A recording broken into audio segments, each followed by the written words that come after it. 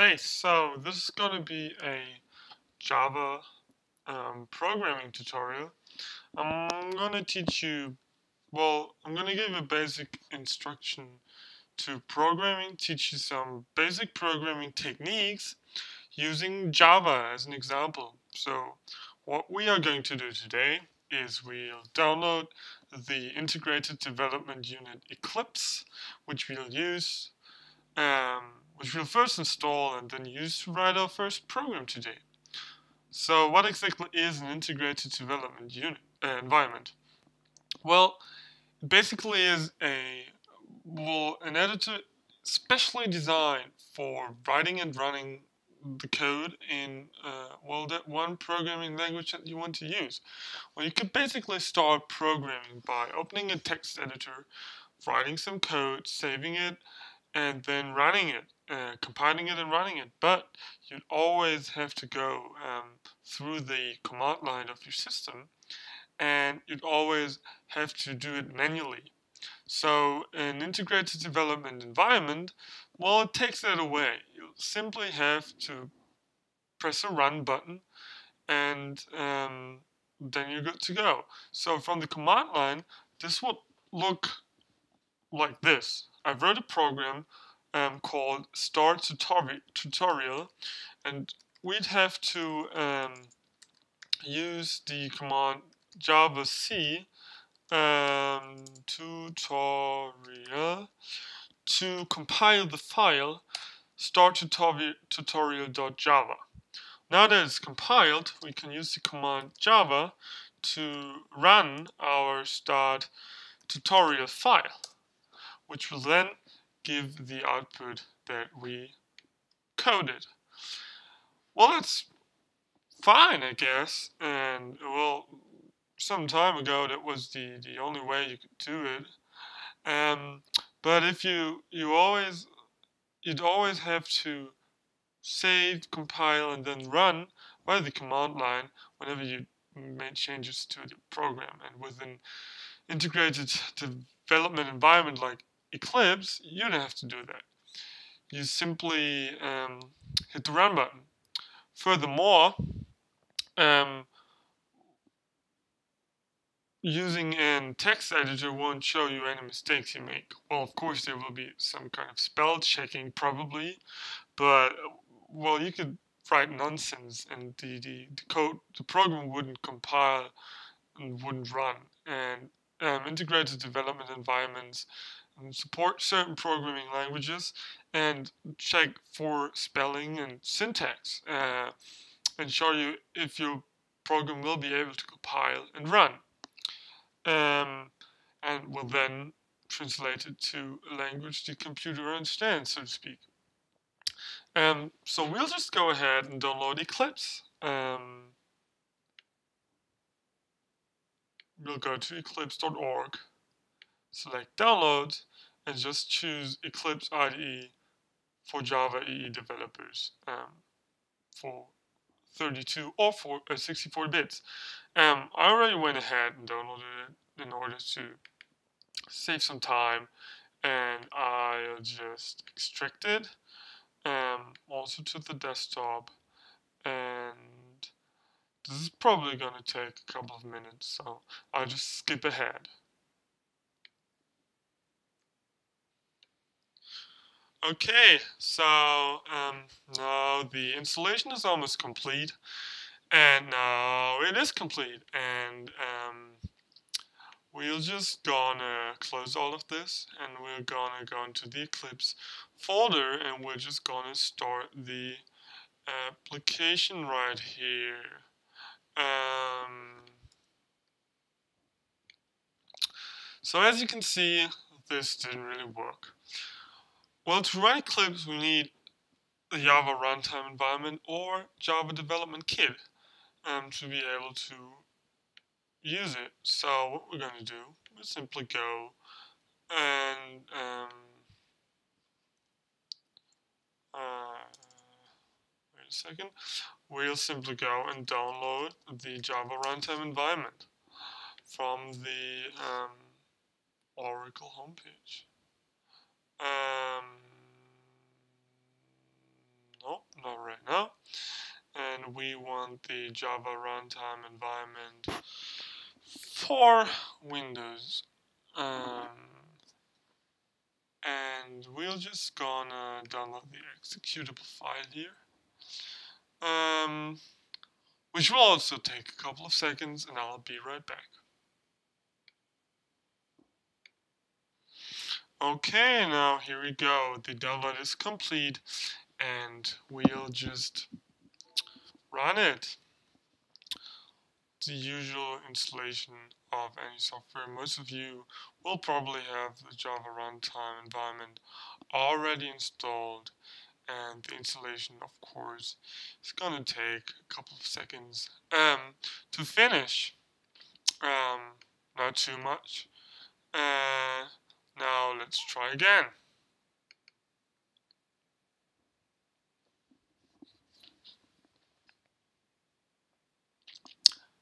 Well this time um, we have all the files we need and we'll just start Eclipse and well we'll create a workspace here and we'll just use this as default and don't want to be asked again. And then we'll start Eclipse um, Eclipse is always kind of slow in starting. There's lots of files on the workbench, and yeah, especially when you create it, it takes a while. So this is the um, welcome screen, so to say, and we'll just skip that and go to the workbench. And well, this is the view we're going to work with all the time. I don't want to um, go into any details explaining every menu. Um, I think we'll get to that when we get to that. And um, we'll just say we'll create, we go to File, we say New, and um, we'll create a new project here and we'll say we want a Java project and that will create a project and we'll call it tutorial because well this is our tutorial. Um, we're gonna yeah we don't need anything else. Um, yeah and we wanna open the um, other perspective because that will give us the development um, interface that we want. And so we'll have a tutorial project here. And what we now need is new Java package, which is the package button here. And um, we'll just call it basics. Package are basically um, subfolders in our project. And note that um, um, project names always start with an uppercase letter in um, Java, and package names always always start with lowercase um, letter in Java. We'll create that, and now that we have our very first folder, we'll create a class. Classes are basically um, all the files. Every file that we can run is one um, Java class. Um, and well, this is our first um, program, and note that um,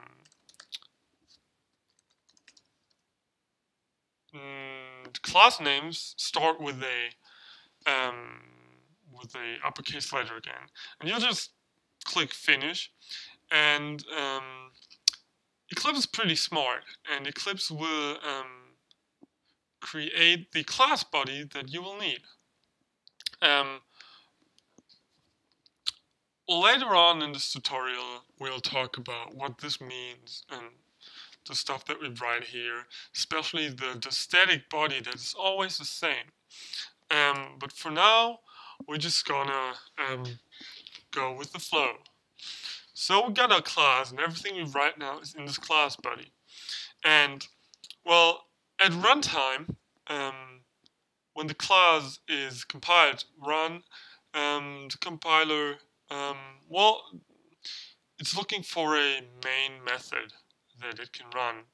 Uh, and the main method in the class, storage always the same. It's always public static void main. And then on brackets we'll have string um, um, uh -huh, okay. Uh, okay, wait a second. I'm just gonna have to find out how the other brackets work.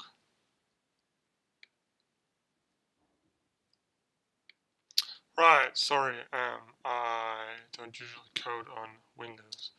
Um, so what we'll need are these um, braces and then this one, and then we close it, and right, this is already in place, um, which are these curly braces. And what um, Eclipse also does is quite clever. Every brace bracket you open is um, automatically closed um, so that you don't have to do that manually but it won't get in your way okay so um, well this is basically all we need to run our first program now when we run it um, nothing happens um, I'm just gonna save it and um, well the console um, the console opens down here, but well, there's nothing in it because our program doesn't do anything. So, well, the most basic thing we can probably do is do system output, text output, um,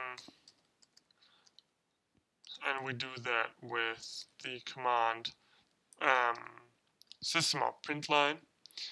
And then in braces, we'll um, put text, and text is always inside the um, is always inside those double quotes. And then the brace closes and then we do a semicolon here which will, is always at the end of, the, of a line. Um, um, well if there's a command that's ended in there so um, well we're basically done with our first program we'll save it and then we'll run it and what we'll have, we have the, the text output that we had in the in the window early on, which was like this. Well, it's basically it's the same thing here. We'll have simple text output, and this is where we're gonna continue next time. We're gonna um, I'm gonna show you how to work with variables and run some code with actual real functionality. Uh, I hope you liked it, and, and make sure to give me some feedback um, so that I can, well, be sure to continue this. Thanks.